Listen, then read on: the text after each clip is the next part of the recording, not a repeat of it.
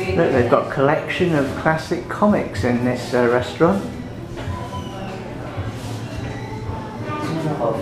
Filipino comics.